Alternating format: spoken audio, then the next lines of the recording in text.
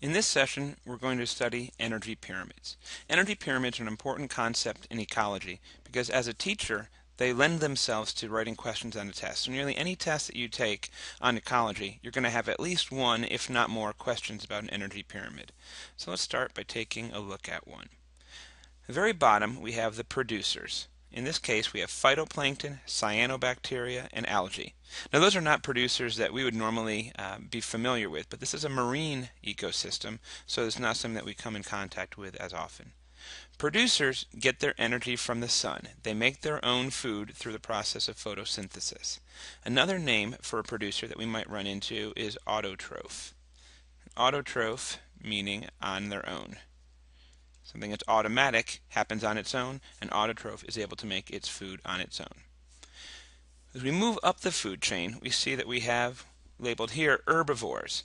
Anything that is unable to make its own food is a consumer. So everything in this range is a consumer.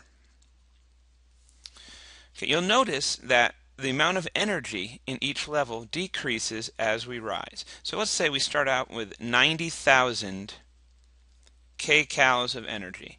90,000 kcal is, an, is a unit of energy. So we start out with 90,000 of these units of energy, every level that we raise on the energy pyramid, we go down by 10%. So now we have 9,000 kcals. The zooplankton, the snails, and the urchins these herbivores which are eating the phytoplankton, cyanobacteria, and algae. If we were to write a food, food web, we would draw those as arrows. We always draw the arrows pointing towards the mouth of what's eating them. So these zooplankton have to do other things. They have to reproduce. They have to try to escape from things that are trying to eat them. Just their day-to-day living uses up energy. So they don't have as much energy as the level below them. So there's 9,000 kcal in these. Okay, we call these consumers. Since these are the first consumers, we call these primary consumers. As we move further up, we start getting into carnivores. Carnivores, they also cannot make their own food like producers can. So what they do is they eat other consumers. So these primary these consumers, these sea stars, whale sharks, and most of the fish that are in the ocean are going to be eating primary consumers and each other. Okay, so these levels right here, the secondary carnivores and these carnivores are all consuming one another. Okay, and as we go higher with each successive level, we have less and less energy that's left because these fish are having to escape uh, from being eaten from each other to go find the snails as we go higher into the secondary carnivores, now we're only talking about 90 kcals of energy. These secondary carnivores and carnivores together we would call the secondary consumers.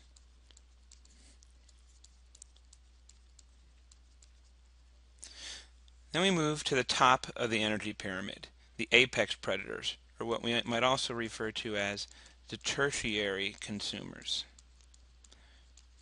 These are the top of the food chain, the tiger shark, the moray eel, the things that nothing else will prey upon. Okay? As we keep moving, as we said, each level is 10% of the energy of the level below it. So there's only 9 kcals of energy left in the system starting at 90,000. Okay, so what that means is that most of our energy is at the bottom of the energy pyramid.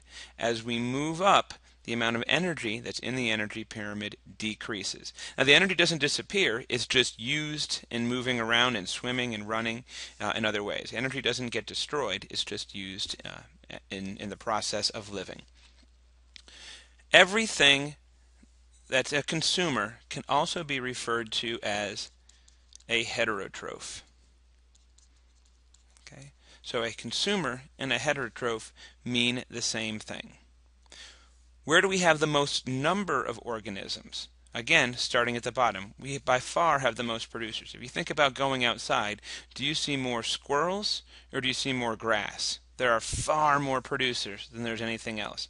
As we move up, the number of those species decrease as well. The one classification of uh, organism that is not found on this food pyramid is the decomposers.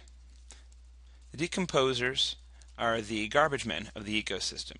The decomposers are not represented on this food pyramid because they're active at each level.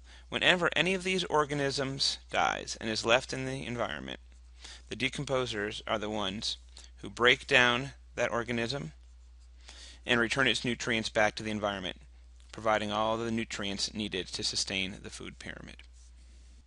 Let's take a look at another food pyramid to see what kind of questions may be asked on a test. One of the first questions that you may see on a test is where is there the most energy in the food pyramid? As we discussed before, most of the energy is found in the base of the food pyramid. As we move up, there's less and less energy. Again, that's because these organisms are having to undergo life activities, run away from things that are trying to eat them, trying to go get food themselves, trying to find uh, a mate. All of that uses energy so the higher you move up in the food chain, the less energy that there is uh, contained in that species. We may ask you, where is there the most biomass? That just means where is there the most amount of these organisms? Okay, we know that there's the most biomass down here at the base.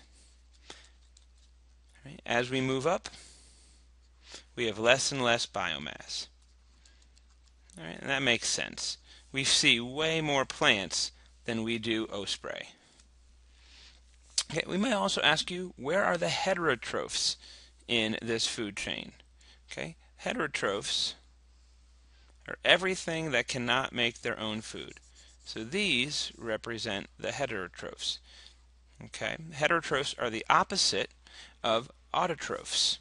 Heterotrophs are also called consumers. Autotrophs are also called producers. So these would be the producers or autotrophs down here. And everything in yellow is a heterotroph. We might ask you where are the primary consumers? Primary consumers are the ones that eat only autotrophs.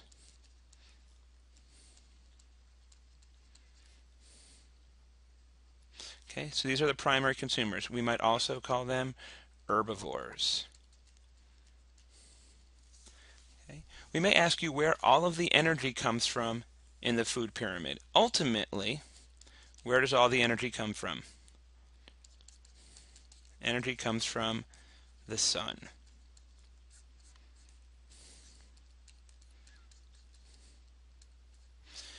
Okay. We may ask you where the tertiary consumers are. Tertiary consumers are the apex predators.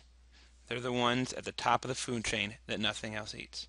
And finally, we may ask you what uh, type of organism is not represented on this food pyramid. And we are missing the decomposers.